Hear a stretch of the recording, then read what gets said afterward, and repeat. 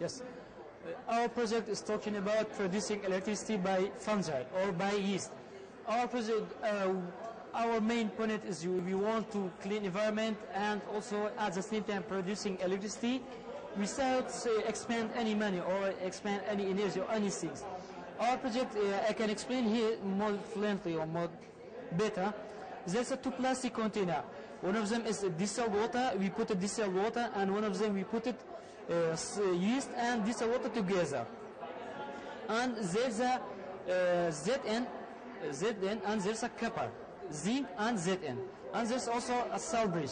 In a salt bridge, we, salt bridge, we put it NaCl. Uh, there's a reaction between uh, uh, between cathode and anode. Uh, Zn is uh, anode and uh, Cu is cathode, positive and negative, negative and positive. There's no difference between them. In a bridge, there's, as I said, there's NaCl. Cl is combined together with Zn and also Na is combined together with Cu. There's an electron reaction from a negative one to positive one, an electron transfer from a zinc to copper. And so uh, if it is not yeast, there's no any reaction and there's no any, any, any combination of uh, this reaction. In here we produce 0.75 amount of uh, electricity by uh, voltmeter. It's a voltmeter, just uh, by volt. We can say volt, 0.75 volt.